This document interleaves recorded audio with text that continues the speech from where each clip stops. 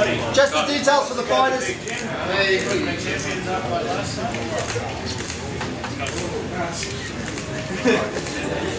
The work guys, all of it.